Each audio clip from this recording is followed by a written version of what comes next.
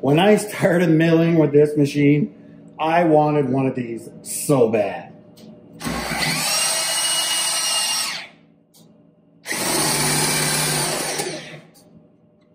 So let me show you how I made this.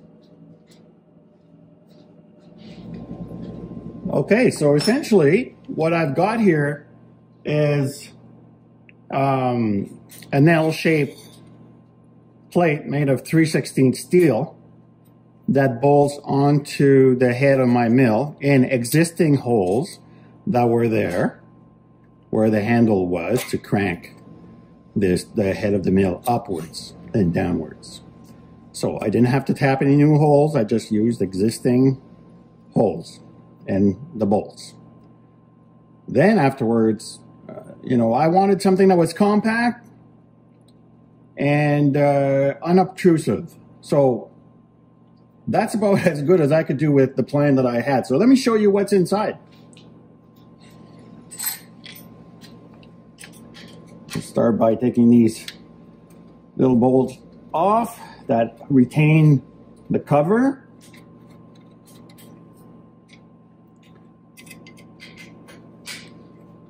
Pardon my arms.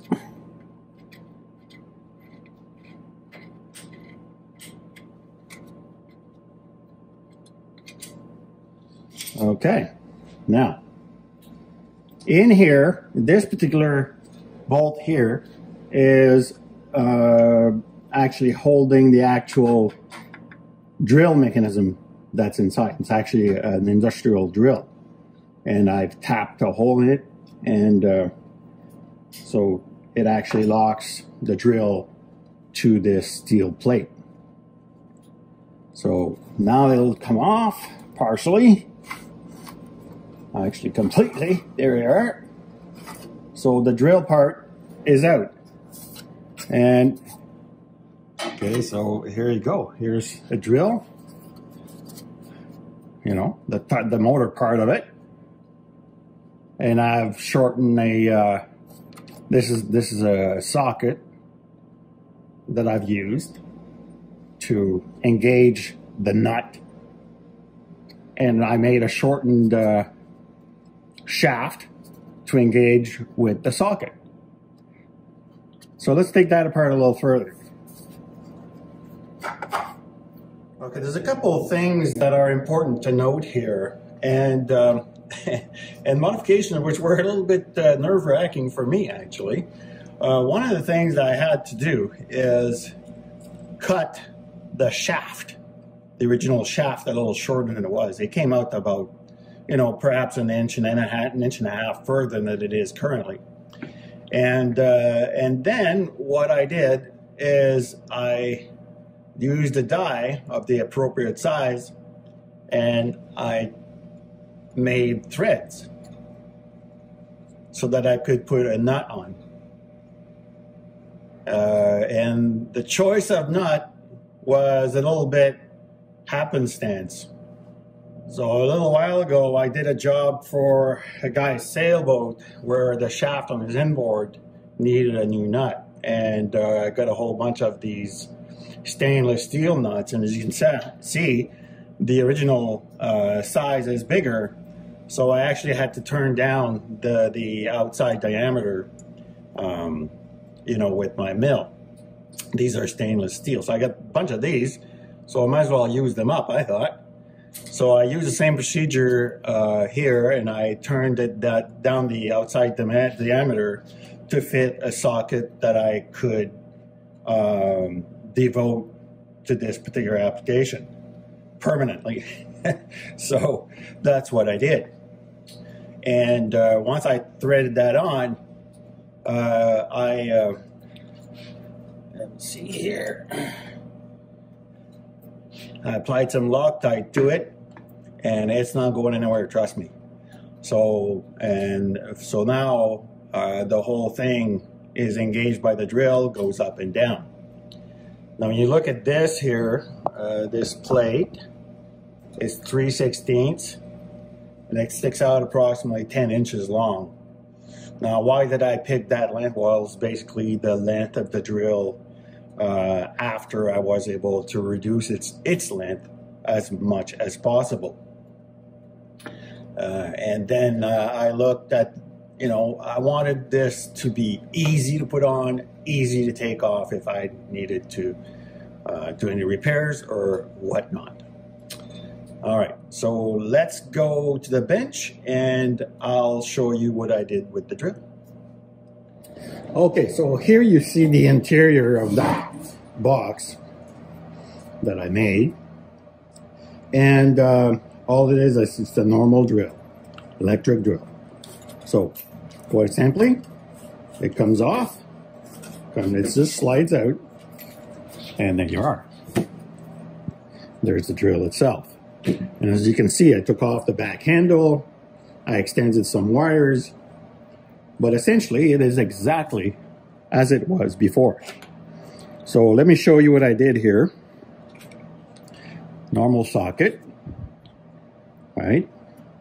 Turns out it's a 15 16 but it could be anything that you have. In my case, it had to be big enough to thread onto that shaft for the mill, and yet small enough that I could fit um, a socket that I had. So you can see here the um, the uh, attachment for the socket I just took a regular one, chopped it to length, so that be make making the whole mechanism as short as possible. Pardon me. Um, this particular drill is a, I believe it says Craftsman 2600. Me show you the specs. There you are. So it's quite powerful. Um, no problem at all. It'll last it's lasted me 30 years already. So I'm sure it'll last long enough. Um, inside the case, focus a little bit on that. Of course, here we have the uh, the the actual trigger, which came. I saw no need to change any of that stuff. It works perfectly. So why recreate the wheel? So I use that uh, variable speed, variable speed um, switch because it's kind of nice. No, I don't want it to go full tilt. And of course the directional switch up and down, just like that. So that's it. There's nothing complicated to this. Now let's look inside. As you can see, I've got the switches that were in the drill and I've got them epoxied to the case. So I was able to measure where I wanted it. I looked at the, the appropriate spacing, the length, of, and then based on that, I, I chose to extend the wiring to the appropriate length. And then the power comes in from the back, so it's not unsightly. Right? Here's the cable that goes to the outlet. Put a couple of of uh, tie wraps to keep it in place. And that's all there is to it. So the epoxy, I used the professional epoxy. You could use probably any epoxy. It'll be strong enough to hold it in place. Just make sure that you let it set first. And uh, there, I also have a couple of pads in there, pardon me.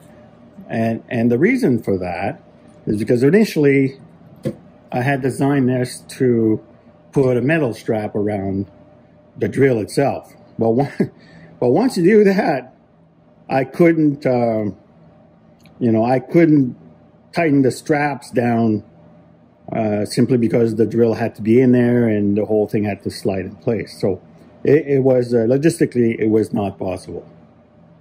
So let's put it back together real quick. First,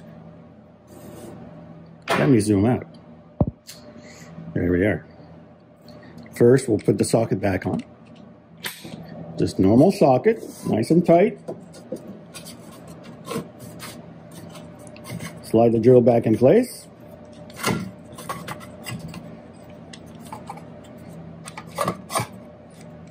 And it's as simple as that. And, uh, you know, the, the final positioning will be done at the mill. Put these little foam pads in. But really, I mean, those are just stabilizers. What's really going to hold it down is the bolt that I showed you earlier that goes through that metal plate and it'll screw right into this here. This is a fairly heavy plastic, so and it's solid and that bolt engages nicely. Other than that, my friends, there's truly not much. Uh, I did make sure to do some cable management. I'm a bit anal that way. So I put Pyra, you know, some tie straps, and that's it. So you've seen how it goes back in place, or because it came out.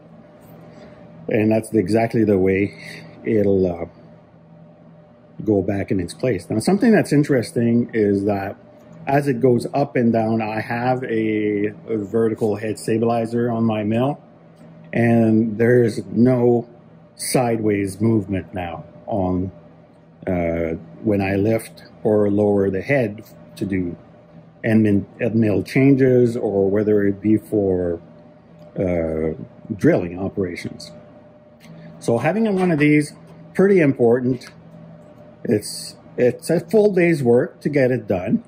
If you have a drill, well worth sacrificing it to do this. If you don't, you can get them for about 25, 30 bucks.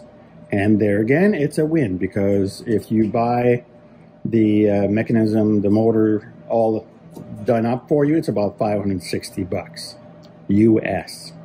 So make yourself one of these. All right. I hope you enjoyed the video, folks. Take care.